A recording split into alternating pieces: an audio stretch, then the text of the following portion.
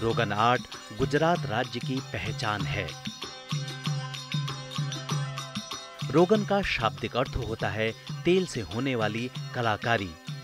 ये कला फारस से लगभग 400 साल पहले भारत आई थी। रोगन शब्द भी फारसी भाषा का ही शब्द है। रोगन आर्ट में सिर्फ़ और सिर्फ़ अरंडी यानी कि कैस्टर ऑयल का इस्तेमाल किया जाता है। मिट्टी की हांडी में इस तेल को आग पर दो दिन तक पकाया जाता है। अरंडी की फ़सल गुजरात के कच्छ में बहुत आयतन में उगाई जाती है। गुजरात के इस इलाके में रोगन कला के फलने फूलने की एक वजह ये भी है। यहाँ के कलाकार इस तेल को स्थानीय किसानों से ही प्राप्त किया करते थे। अरंडी का तेल जब पक जाता है तो इसके बाद इसमें चमकीले प्राकृतिक रंगों को मिलाया जाता है और तैयार होते हैं रोगन कला के लिए रंग।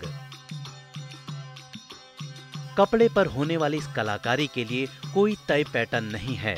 कलाकार अपने मन मुताबिक इस कला को शुरू करता है और आगे बढ़ाता है। स्थानीय जनजातीय समुदाय में दुल्हन की शादी के जोड़े पर रोगन आर्ट कलाकारी ही होती है।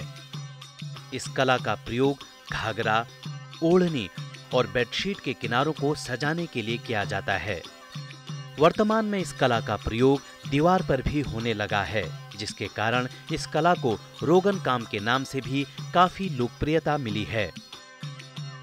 कलाकार के दिमाग में छपी हुई कलाकृति को जब वो कपड़े पर उतारता है तो उसके दोनों हाथ एक साथ तालमेल के साथ चलते हैं। एक हाथ से वो कला को केरता है तो दूसरे से वो कपड़े के नीचे से उस कला को संभालता है। रोगन आर्ट में रंगों को हाथों पर रखकर एक नियत तापमान तक लाया जाता है। इसका अर्थ ये हुआ कि कलाकार के हाथ और दिमाग दोनों से ये रोगन आर्ट जन्म लेता है। ज्यामितीय सिद्धांतों का भी इस कलाकारी में खूब प्रयोग होता है। आधी पेंटिंग को बनाने के बाद कलाकार कपड़े को मोड़ देते हैं और इसके बाद वो पेंटिंग कपड़े के बाकी हिस्से पर भी छप जाती है। रोगन कला के बारे में बात हो और अब्दुल गफूर खत्री का ज़िक्र न हो, ऐसा तो संभव ही नहीं है। अब्दुल गफूर खत्री वो शख्स हैं जिन्होंने न सिर्फ़ इस कला को अब तक जीवित रखा है, बल्कि वो इसे आगे भी बढ़ा रहे हैं। पद्म सम्मान से सम्मानित अब्दुल गफूर खत्री की इस कलाकारी के बारे में प्रधानमंत्री नरेंद्र मोदी अपने मासिक कार्यक्रम मन की बात में भी चर्चा कर चुके हैं।